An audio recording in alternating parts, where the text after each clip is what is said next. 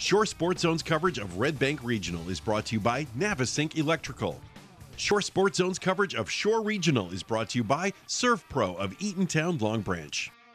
In Little Silver, Shore Regional looking to remain unbeaten in the early season. The Blue Devils taking on winless Red Bank Regional. Good aggressive goalkeeping in the first half.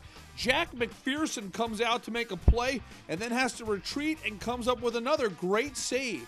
Later in the first, same situation for Shore goalie Chris Panduri. He comes out to make a great play and look at the hustle. He's able to get back and make the save. At the half, we are scoreless. Early second half, Dante Montesinos feeds Ryan Bongerzone. He delivers from 19 yards out with the left foot. Shore Regional has a 1 0 lead. RBR would get the benefit of a handball call. Israel Oliveira comes through on the PK. We're tied at one. This game would go into overtime.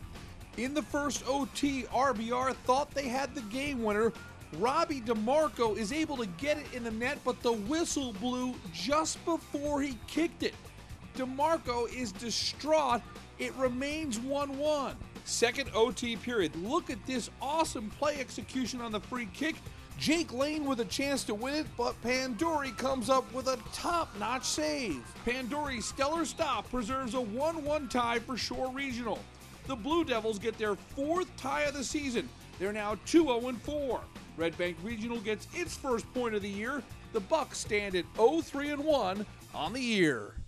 For more Jersey Shore sports, log on to shoresportszone.com.